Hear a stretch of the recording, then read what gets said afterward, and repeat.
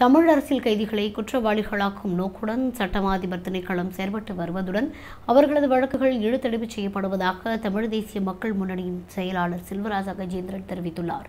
யாழ் ஊடக மையத்தில் இன்று நடைபெற்ற ஊடகவியலாளர் சந்திப்பின் போதே அவர் இதனை குறிப்பிட்டார்.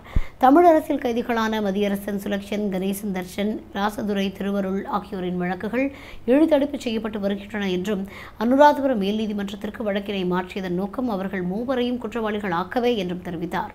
அதற்கு தமிழர் தரப்பினர் கடுமையாக எதிர்ப்பு தெரிவித்து போராட்டங்களை முன்னெடுத்ததாகவும் அதனால் மீள வழக்கு வவுனியா மேல் நீதிமன்றத்திற்கு மாற்றப்பட்டது.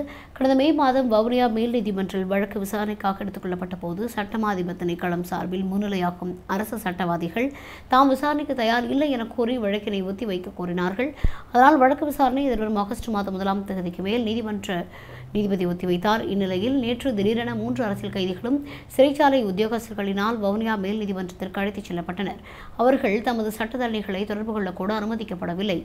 இந்த செயல்பாடுகள் குறித்த மூன்று அரசியல் கைதிகளையும் மன உளைச்சலுக்கு உள்ளாக்கி அவர்களை பழிவாங்கி குற்றவாளிகளாக்கும் செயற்பாட்டையே சட்டமா அதிபர் திணைக்களம் மேற்கொண்டு வருகின்றது என்று சந்தேகிக்கிறோம். இந்நிலை தொடருமானால் நாம் போராட்டத்தில் ஈடுபடுவோம் என்று செல்வராசா கஜேந்திரன் தெரிவித்துள்ளார்.